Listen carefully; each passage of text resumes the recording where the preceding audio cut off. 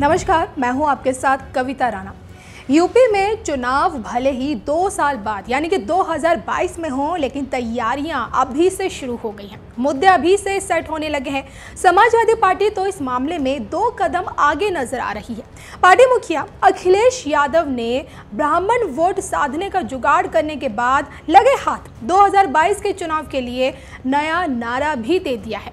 UP में ब्राह्मण vote को लुभाने के लिए हर ज़िले में भगवान परशुराम की मूर्ति लगवाने का ऐलान करने वाले अखिलेश यादव ने रविवार को ही पार्टी का नया नारा भी दे दिया है। उन्होंने पोस्टर जारी करते हुए नारा दिया 22 में बाईसाइकिल के साथ और लिखा कि तरक्की के बाद साइकिल के साथ।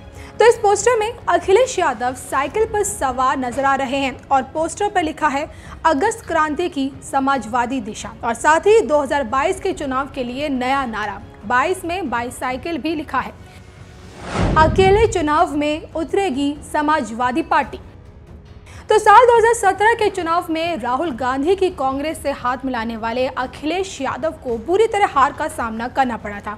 और यही हाल 2019 के आम चुनाव में भी रहा। और इस चुनाव में उन्होंने बीएसपी सुप्रीमो मायावती के साथ हाथ मिलाया, लेकिन खुद उनकी पत्नी डिम्पल यादव भी कन्नौज सीट से चुनाव हार गए। पार्टी की तो बात ही छोड़िए।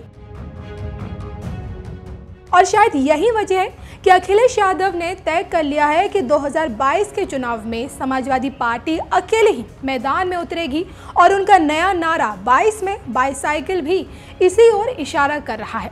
समाजवादी पार्टी साइकिल से बाईसाइकिल बनी, साइकिल से ही चुनाव जीतकर विधानसभा पहुंचेगी।